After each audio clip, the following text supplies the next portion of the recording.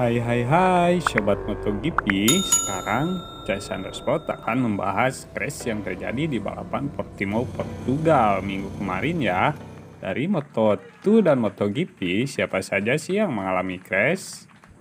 Tapi sebelum Mimin bahas siapa saja yang crash Alangkah baiknya Mimin cerita tentang sirkuitnya dulu ya. Sirkuit Portimao dibuka untuk umum pada tahun 2008 yang karakteristik sirkuit mirip sirkuit Austin, Amerika Serikat. Sirkuit ini memiliki panjang 4.684 km. Sirkuit ini dirancang oleh Ricardo Pena. Seperti teman-teman lihat, sirkuit ini mempunyai tanjakan dan turunan yang menukik. Bila dihitung, seluruhnya mempunyai 15 tikungan. Jadi wajar ya para pembalap riskan dengan crash. Cukup ya bahas sirkuitnya, kita langsung lihat siapa saja sih yang menjadi korban sirkuit Portimao pada balapan ketiga MotoGP di Portugal. Yang pertama ada nama Jorge Martin, dia crash pada sesi latihan ketiga, padahal dia sangat dijagokan setelah tampil apik di sirkuit Doha, Qatar. Doi mengalami crash yang cukup parah sehingga memaksa Doi absen sampai balapan lemang berarti tiga seri ya guys. Yang kedua ada Sam Lowes mengalami high side crash di tikungan satu saat balapan baru dimulai. Beruntung Doi tidak mengalami cedera, tapi sayang kesempatan untuk mendapatkan poin jadi hilang. Padahal Doi mengawali balapan dari barisan depan.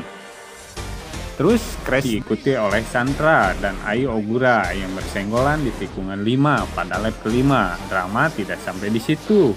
Di tikungan 1 ada crash Stefano Manis dan Yanri Montella. Kedua motor pembalap sampai terbakar setelah terpental ke area gravel. Tak ketinggalan pembalap yang memperkuat di Mandalika Indonesia, BO Ben Schneider yang tergelincir di tikungan 5, lap ke-8, membuat harapan tim Mandalika untuk mendulang poin sirna.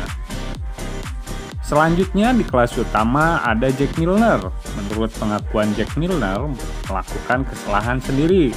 Sayang, saya sangat dekat dengan Alexis Espargaro dan terlambat mengerem, terlalu banyak menggunakan ban depan, kata Miller, dikutip dari autorace.id. Di sisi lain ada legenda hidup MotoGP yaitu Valentino Rossi yang mengalami crash di tikungan 11 setelah menyalip adik tirinya yaitu Luca Marini yang mengakibatkan performa kurang apik di Daktor masih terus berlanjut. Drama MotoGP di sirkuit Portimao, Portugal berlanjut. Ada crash Alex Rin yang sedang mencoba mengejar Quartaro, justru terjatuh di tikungan 5 lap ke-19. Tak berselang lama, giliran Juan Jarko yang mengalami crash saat memasuki lap ke-20. Mungkin itu kumpulan crash MotoGP Portimao Portugal. Mohon maaf bila Mimin kurang pas penyampaiannya. Sampai jumpa di sirkuit Jerez yang akan dihelat pada tanggal 2 Mei di Spanyol. Semoga ulasan Mimin tentang crash ini bisa bermanfaat dan bila ada hal-hal yang terlewat, harap tulis di kolom komentar ya. Terima kasih, sampai jumpa di video Kasana Sport selanjutnya. Jangan lupa subscribe ya teman-teman.